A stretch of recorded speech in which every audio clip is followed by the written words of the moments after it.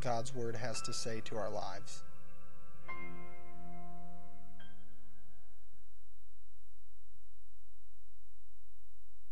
We'll be in Philippians chapter 4 this morning, starting in verse 1. If it's your uh, first time to Life Point and you don't have a Bible with you, we have a Bible uh, sitting in front of the pew. Uh, it's not a pew, the, the, chairs in front of you, the chairs around you. Um, and, and, if you need a Bible, there's one right there for you to use. Inside of it, there is a, a little connect card for you to fill out if it's your first time. Just uh, do that and then put it in the offering plate when it passes by. And then you can actually keep this Bible. It's our free gift to you. Um, you can take that with you. In Philippians chapter 4, we're going to begin in verse 1. says, Therefore, my brothers, whom I love and long for, my joy and crown, stand firm thus in the Lord, my beloved. I entreat Euodia and, and I entreat Syntyche to agree in the Lord. Yes, I ask you also, true companion, help these women who have labored side by side with me in the gospel together with Clement and the rest of my fellow workers whose names are in the book of life. Rejoice in the Lord always. Again, I will say, rejoice. Let your reasonableness be known to everyone. The Lord is at hand. Do not be anxious about anything, but in everything by prayer and supplication with thanksgiving, let your requests be made known to God. And the peace of God, which surpasses all understanding, will guard your hearts and your minds in Christ Jesus. Finally, brothers, whatever is true, whatever is honorable, whatever is just, whatever is pure, whatever is lovely, whatever is commendable. If there is any excellence, if there is anything worthy of praise, think about these things. What you have learned and received and heard and seen in me, practice these things, and the God of peace will be with you. This is the Lord.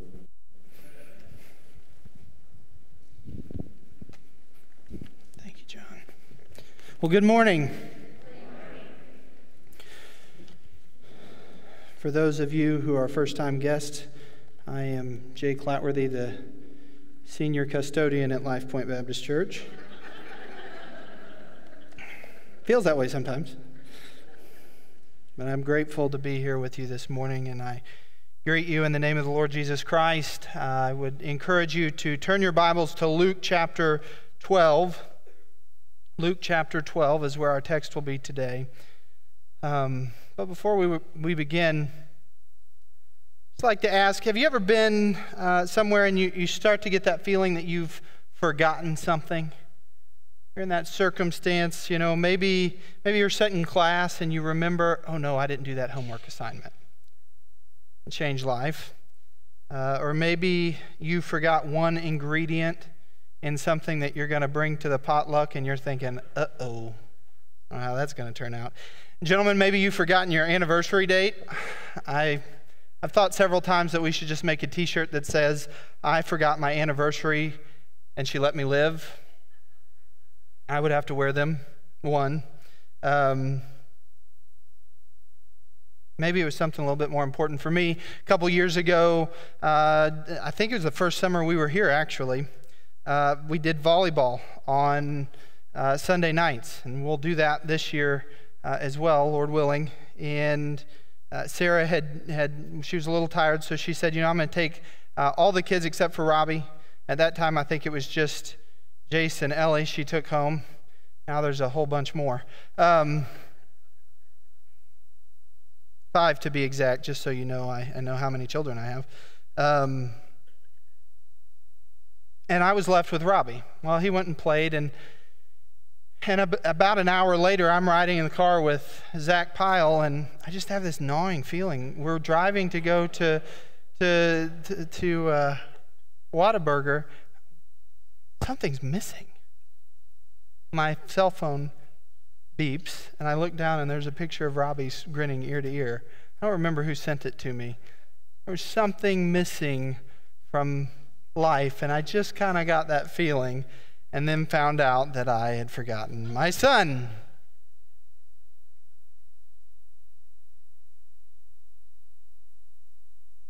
The reason I ask that is I think that all too often the reasons that we worry as people is because we've forgotten some things. The reason that we tend to be tempted to worry is that we have forgotten. Say, well, what in the world have we forgotten? Well, I'm glad you asked, and we'll spend the rest of our time today talking about those things. Um, but I know that one of the great things about speaking on a subject like worry is the reality that I'm in a fellowship of uh, fellow strugglers this morning. I know that everyone, it's universal, all of us, have at one point or another uh, struggled with worry. Ultimately, there are two types of people when it comes to worry those of us who admit that it is a struggle not to worry, and then those of us who are willing to live our lives in an outright lie and say that we never worry. And you know, it's kind of funny, those people that try and, you know, stiff upper lip and no, no, I never worry. Just, I, I cast all of my cares on, on God the way that I should. And I, I never have struggled with worry. The interesting thing about worry is when you try to bottle it up and keep it inside, it shows all over. You know, you're sitting there, what, what is, there, is there something wrong with you? No, I'm fine. Why? Well, you know, you know, you've been around people like that. So we all certainly struggle with worry. Recently, uh, I, I personally, I was going through the week this week, and there's something that I had been worrying about sinfully uh, for the past several weeks. And God took that particular issue and just turned it in a completely different direction. And one of my friends here uh, that I work alongside of said, I told you not to worry.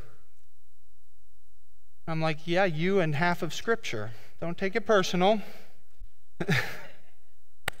I'm just a great worrier. So that kind of led me down this path of of dealing with this particular passage of Scripture, this encouragement from our Lord not to worry. Luke chapter 12, starting in verse 22. Thank you, Dylan.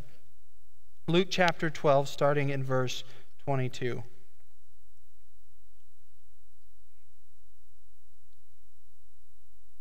And he said to his disciples, Therefore, I tell you, do not be anxious about your life, what you will eat nor about your body what you will put on. For life is more than food, and the body more than clothing. Consider the ravens. They neither sow nor reap, they have neither storehouse nor barn, and yet God feeds them. Of how much more value are you than the birds? And which of you, being anxious, can add a single hour to his span of life? If then you are not able to do a small thing as this, as that, why are you anxious about the rest? Consider the lilies, how they grow. They neither toil nor spin. Yet I tell you, even Solomon in all his glory was not arrayed like one of these. But if God so clothes the grass, which is alive in the field today, and tomorrow is thrown into the oven, how much more will he clothe you, O you of little faith? And do not seek what you are to eat, what you are to drink, nor be worried. For all the nations of the world seek after these things, and your Father knows that you need them. Instead, seek his kingdom, and these things will be added to you. Fear not, little flock, for it is your Father's good pleasure to give you the kingdom. Sell your possessions and give to the needy. Provide yourselves with money bags that do not grow old, with treasure in, in the heavens that does not fail, where no thief approaches and no moth destroys. For where your treasure is, there will your heart be also. Let's pray. Father God, I thank you for your inerrant, inspired, infallible word. I thank you that you speak to sinners such as us this morning. I thank you for your written word. I, I, pray today as we, each one of us in our, our lives, struggle with worrying about different things, that we would learn to rest in who you are and what you promise, that we would remember the things that you have told us in your word all throughout this next week. I pray today that our hearts would be changed, not just that our heads would be filled, filled with knowledge, but ultimately that we would change in the way that we worry, in the way that we fret, and, and, and that we would live in light of hope, not in light of worry. In Jesus' name, amen. First thing, before I really get started in these verses, um, I want us just to think a little bit about uh, when this particular text was written. Jesus was speaking to farmers and fishermen. They would have had to trade for their necessities. There would have been no sanitation, no health care programs. When there came a long term drought in their time, they would simply die. There was not all of the modern conveniences uh, that we tend to um, tend to have. And so, uh, all the more, they had reasons to worry. In every generation, there are reasons that we have to worry. And the people that Jesus is speaking to, particularly in this passage during the time that it was written, certainly had reasons to worry. And sometimes we think well, that uh, ultimately what we can do as a society is we can cure our worry and we can cure all of our problems by being sophisticated, by growing in all of our technologies and our healthcare systems and our infrastructure. And when all of those things are put in their proper place and we get to, there's this, this idea that we can build a utopian society, and ultimately one day we won't have any problems, we won't have anything to worry about. But if we look over time, these believers who didn't have very much at all compared to what we have today, and what would you say the average person worries less or more than the people that this was written to? And I would encourage you that, in my opinion, probably more. Um, I know at least one that stands behind the pulpit probably is guilty of worrying more. Maybe you guys don't. Um, but we tend to worry more. I mean, think about it. Throughout our lifetime, if we're not careful, we grow in worry not because of circumstance, but just because of the heart attitude that we have. Think about when you were a child and you thought, if only I had one more dollar allowance a week, think of what I could do with that one dollar. And so you get the dollar. And then when you're a teenager, if only I could get a job to pay for this cell phone or this car. I can remember when I was 16 years old, I had a pickup truck. It had been totaled two times before I got it, and I thought it was like a Bentley. You know, this is the chariot of style, even though it's been crushed on both sides. I'm doing great to have this. My, you know, I've got this. And, and then I started to worry about, all right, how am I going to get the money to fix that? And how am I going to get the money to do this? How am I going to get money to put a radio in it?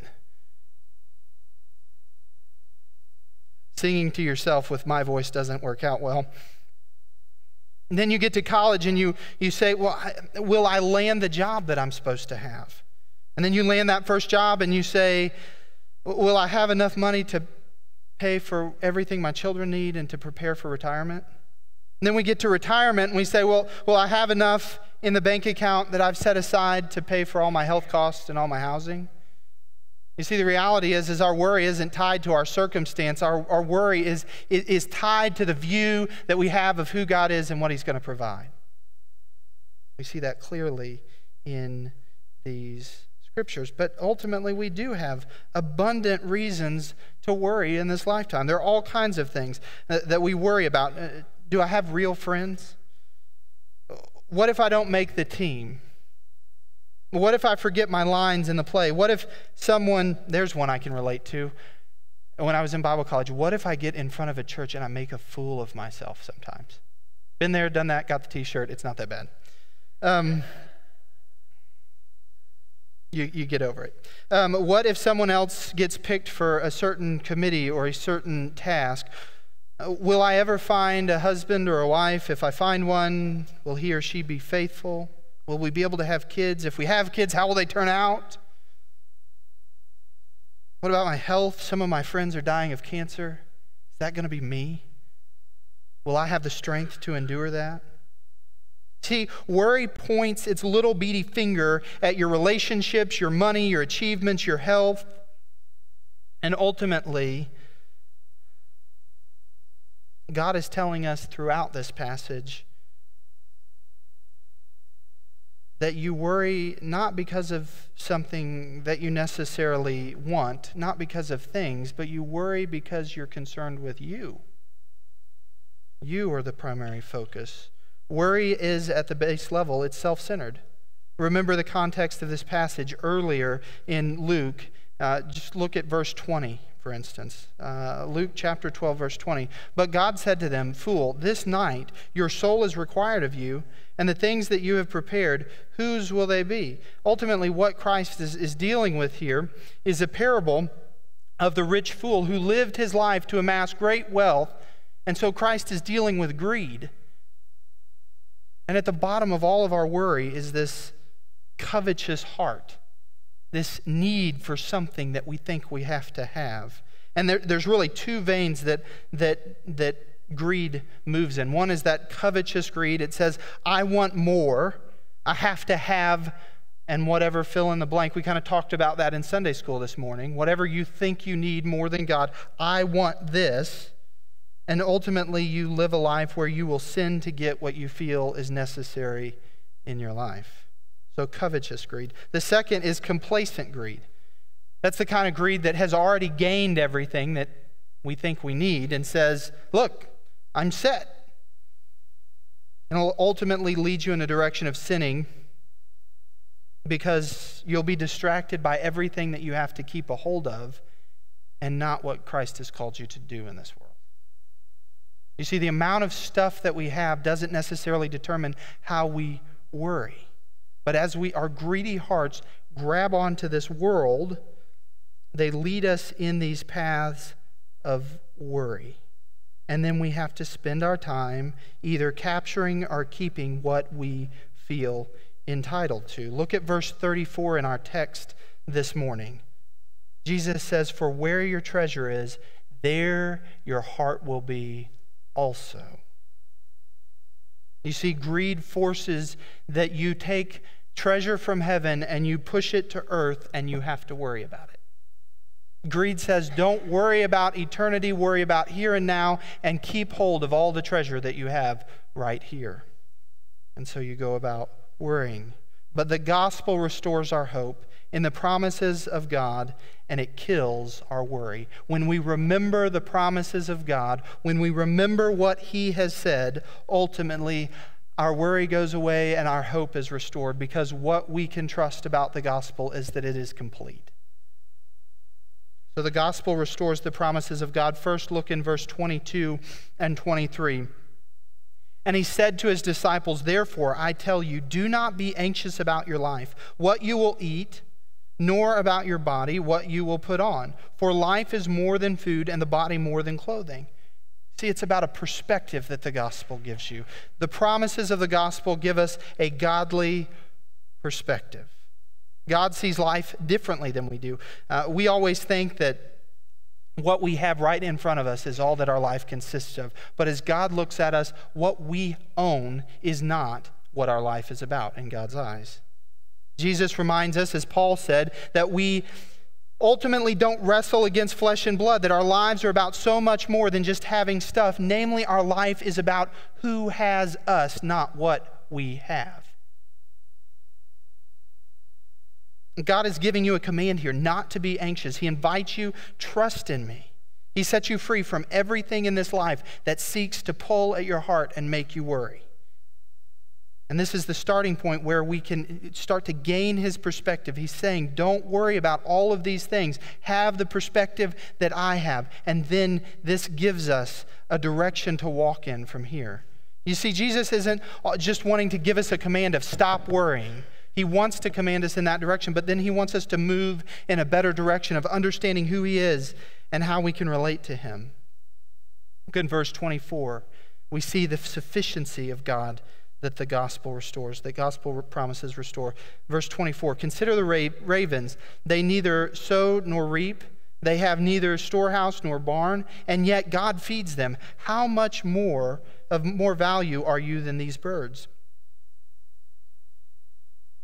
Here we see Christ encouraging us that God will provide us everything that we need. And if you think about it, ravens, they don't always get what they want, but they get what they need. And if you think about how birds have to kind of fly around and scavenge for things, they don't always get it in the most luxurious ways. But if we're honest, a lot of what we worry about is am I going to get what I want, not what I need? And am I going to get it in a way that's comfortable, not in the way that God wants me to get it? At the bottom of worry is something in us that says our way of getting is better than God's way of giving. Ravens uh, ultimately, they don't worry about what's ahead or what's behind. They live in the now. They trust in the, in the sufficiency of God. I don't know how many times in my personal life, in, in, in, Sarah would say, if there's an Olympic medal to give Jay, it's in worry. He takes the cake in, in that area. Amen? I don't know how many times we've been in a conversation and my mind is so focused not on the now and the sufficiency of Christ, but all of the things that are ahead of us. And are we planning this out right? Are we doing that? Are we doing this? And I get this look. And it's just as if to say, How does your, does your mind ever stop? She said that to me a few times, actually. Have you ever just stopped and just live right now? We're fine, right? Uh, far too often, we're tempted not to trust in the sufficiency of Christ. Ultimately, the question has to be asked in light of this where do we find our security? Christ or our checkbook? Um, and there's so many other areas, but here's a test. When you balance your checkbook, when you do your, your, your finances, are there, are there ever, is there ever a temptation where you struggle with pride? Look at me, I've got all of this. And you have that, that content type greed. I've got I've amassed lots of money and so I'm doing very well. Or do you struggle in despair? My bank account just barely balances, so uh, God's not providing what I need. And you have that covetous, I need more before God will keep his promises. We need to learn to live in the sufficiency of Christ, knowing that He will provide everything that we need. Spurgeon said, Our anxiety does not empty tomorrow of its sorrows, but only empties today of its strength. We would trust in the sufficiency of Christ, we would be reminded that the gospel, in the gospel, we have everything we need. We would do so much better not to worry. Christ is sufficient. God will give us everything we need. Secondly, look at verse 25, we see God's promise of his sovereignty. Verse 25, and which of you, being anxious, can add a single hour to his life, span of life? If then you are not able to do a small thing as this, why are you anxious about the rest? What God is saying, what Christ is saying is look, God is in control of every single moment of your life. There was a predetermined time when you would come into this world, and there is a predetermined time when you will be taken out sets me free every time I hear some health, you know, infomercial that says I need to lose 15 pounds so that I live a longer life. I'm like, I'm going to trust in the sovereignty of God and keep eating fried chicken. That's not exactly good stewardship of your health, just so I'm clear. That's definitely taking that out of context. But I have rationalized that when I'm at KFC today. Sinfully. The Bible constantly talks about life as a walk. Jesus is saying, look, you can't add even a single step to your life. Stop worrying about it. Last night we had a really interesting experience as a family. I'm, I'm sitting in my chair reading over some Sunday school lessons and some other things for this, this morning, and I hear Robbie scream from upstairs, I don't want to die. And I'm thinking, uh oh, he ticked his mom off again. So I decided I'd go watch. Um, good entertainment. And I got up there and she was just comforting him. He really was concerned. I don't, I don't want to die. It was in Robbie's, in his young life, I think the first time that the reality that we're all going to die hit, that that includes Robbie. You know, it wasn't really much to worry about until it came home to roost in his life. But then he was concerned. And I, I, I, thought about the text that I would preach this morning, and, and, and I, I said, Robbie, can, can you come downstairs and let's just talk about this? In, in my head, I just thought this is a, a golden opportunity to teach my son about the sovereignty of God. That he is good and that he has a plan for Robbie's life, and that Robbie doesn't need to worry. And so we read these verses together, and and I asked Robbie a question. Right now, we're going through a, a, system of, I ask him a question and he memorizes a response. And the question was, Robbie, remember our first question what is our only hope in life and death? And his response that we are not our own, but belong both body and soul in life and death to our Savior, the Lord Jesus Christ. And so as we sat there on the steps, I said, So, so Robbie, if you belong, think about this. If you belong to Jesus and you are his possession and he treasures you, do you think that he's going to lose you? And Robbie looked up and said, Yeah. okay, let's back up. And so I said, Robbie, what's your favorite toy? He said, It's a transformer. I said, Okay, transformers are cool. Um, what if I went out tonight and I bought you the best transformer? As your father, I gave you the best transformer that Toys R Us, Mattel, whoever could, could make. Would you do everything that you could to keep on keep hold of it? And he said, Yeah, I, I would make sure that I wouldn't lose it. And I said, But here's the difference between you and God. You don't have complete control. You're not completely sovereign over everything. God is. He has purpose to keep a hold of you. So no matter what, not even death, can separate you from God. Do you understand that? And he said, Yeah, I get it. And we prayed together. I was so grateful for an opportunity to show my son as he struggles at a very young age that God is sovereign.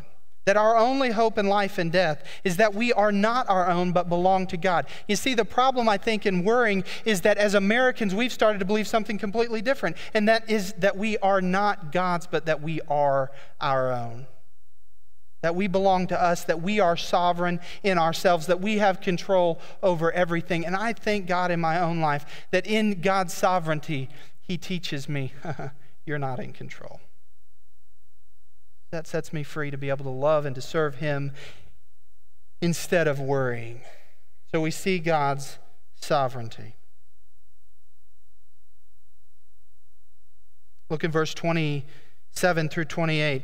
We see God pointing to his glory. Consider the lilies, how they grow. They neither toil nor spin. Yet I tell you, even Solomon in all his glory was not arrayed like one of these. But if God so clothes the grass, which is alive, to, alive in the field today and tomorrow is thrown into the oven, how much more will he clothe you? O you of little faith. And do not seek what you are to eat and what you are to drink, nor be worried. So we see uh, there's a concern in the heart of a warrior that we, we're seeking after glory. We are constantly doing this. We are natural born glory seekers. Some of you have met the natural born glory hogs. I'm not talking about them, but each one of us have sought to have glory. We, we seek glory in our appearances. How many magazines set at the, the checkout line at the supermarket? They're all about glory about having the perfect body and the perfect hairdo and the perfect makeup so that people will appreciate our appearances. We roll out the red carpet, and I think Joan Rivers is dead now, but she would comment on everybody's dress and what they were wearing and all of this stuff. And I know people that enjoy watching all of that stuff, and I'm like, how can you stand what, listening to this for five minutes? Who cares what kind of pants that dude has on? That's a type of glory seeking, we want to be the most beautiful. Or academic pursuits, we have people that study. I love to study. We want the most knowledge. Or guys, we, some of you, I can't be guilty of this, but some of you spend a lot of time in the gym because we want to be most powerful. Or we want the, the, uh, to reach our vocational goals. We want to provide or to be the best leader. We want relational glory. We want to be the most loved. All too often, that love comes here. We're concerned more about that. What we need to see here is Jesus is saying that God is going to glorify you ultimately because of what he has done, not because of anything that you do. God glorifies you because of what He's done, not because of you. And all of these, these things that we tend to do in our lives to get glory for ourselves are pointless. In the span of our life, we could spend all of our energy, we could be the, the, the biggest and best and brightest thing that this planet has ever seen in the eyes of men. And ultimately, Jesus says, Be careful because you could lose your entire soul. But we spend so much effort trying to seek glory in our own way. But God will clothe you, Jesus says, in nothing less than His perfect glory. You will be radiant. You will be indestructible. You will be full and reflecting of God's glory.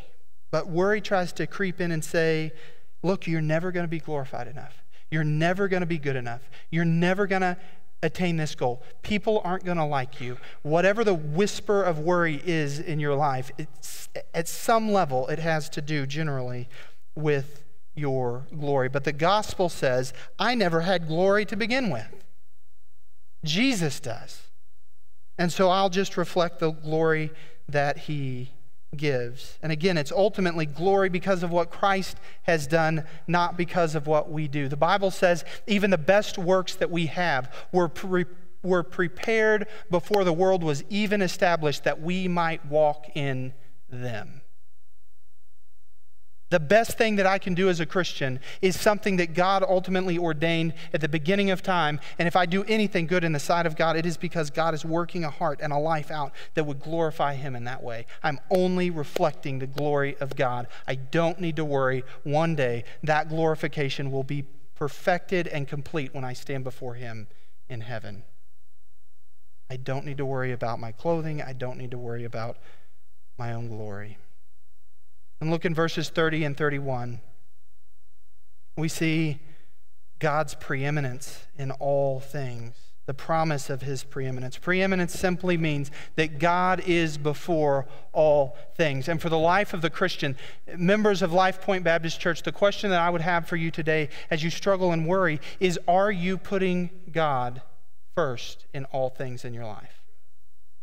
He will always be, by his very nature, before all things. But as you make choices in your daily life, are you seeking to put Christ first in all things? Are you putting the priority where it needs to be in God and God alone? God says, Look at all the things your greedy little heart is after, and remember that when you seek after all of these things, you're just like the rest of the world.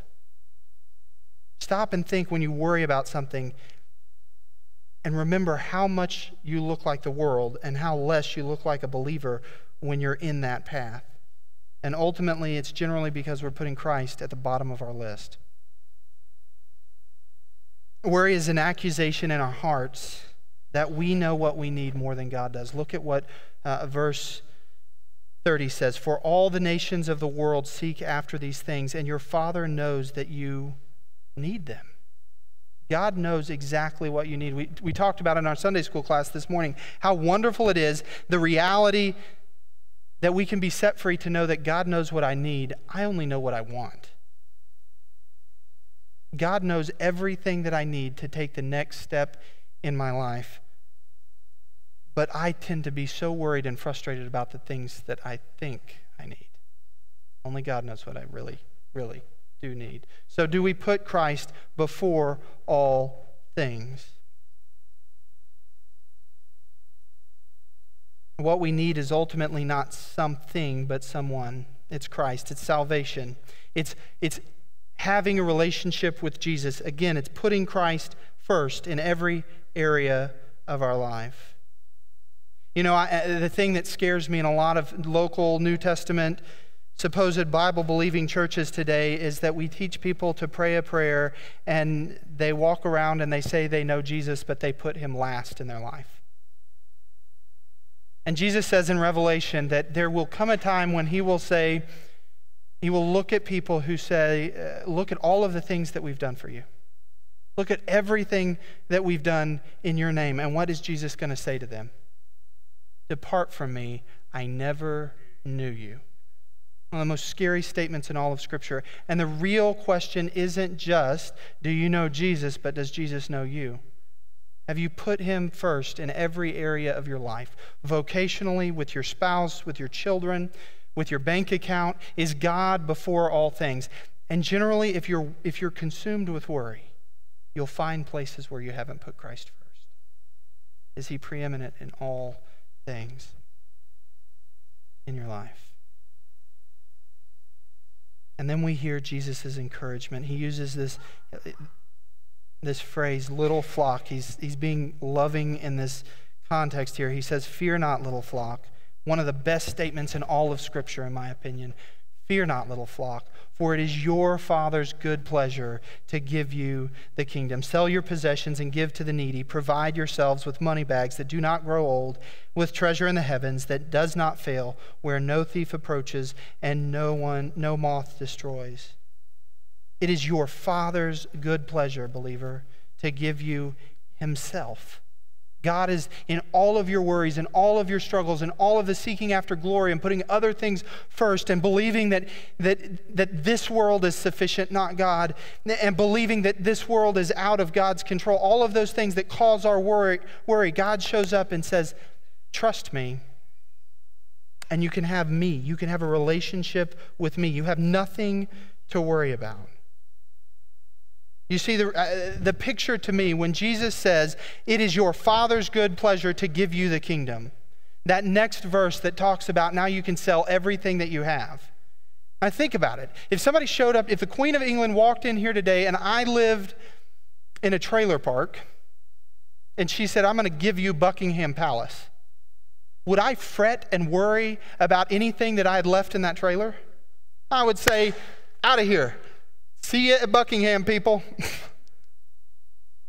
and the point isn't about what we have here, it's that we have a kingdom established in heaven that is secure. And when we know that we have been given the kingdom of heaven, it makes us let go of everything here. And we have nothing to worry about because God is establishing his kingdom. So all of the work that I'm doing to establish my little kingdom here seems trite and meaningless. And I don't have to worry anymore. But far too often in the life of a believer, in my life, the reason that I struggle, the reason that I worry, the reason that Jesus is saying, remember, it's the Father's good pleasure to give you the kingdom, is because my heart is so attached to building my little shack on earth.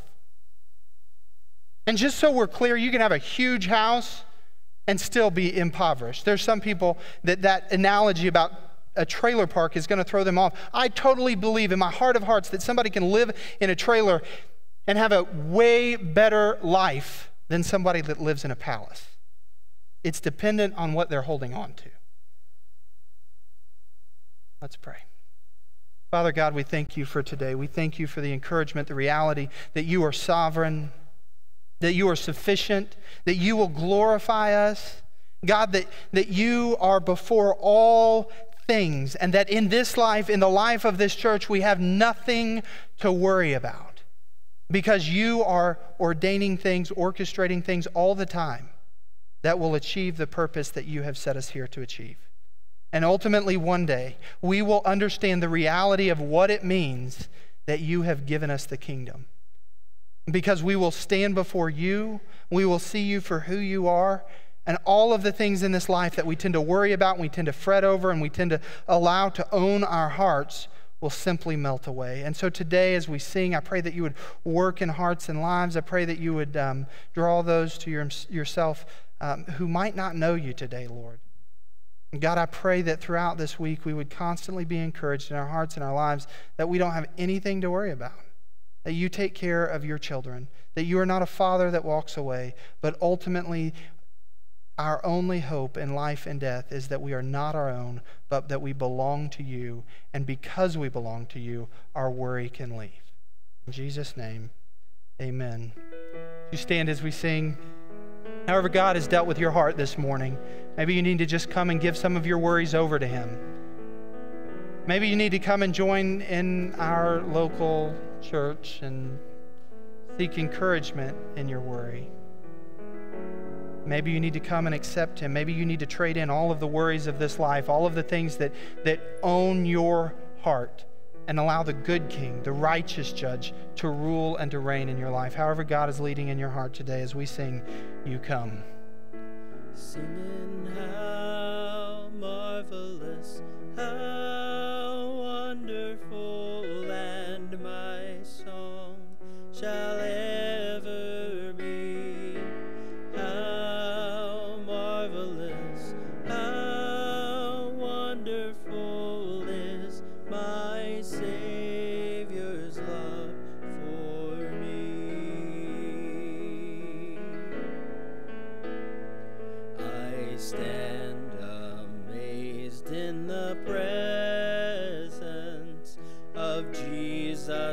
the Nazarene.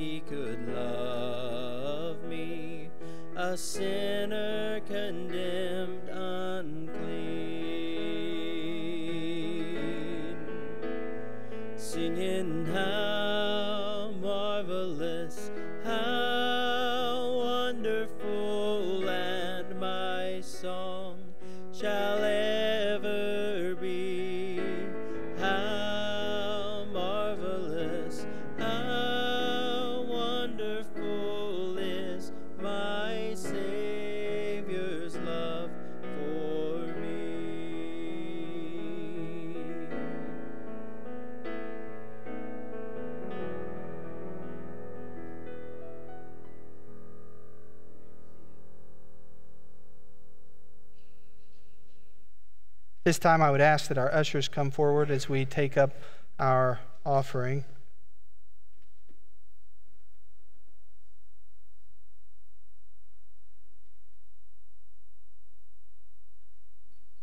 And as they make their way forward, I'd just like to encourage you. You saw the video this morning um, about Psalms and the series that we will be beginning on June the 19th uh, in, our, in our evening service.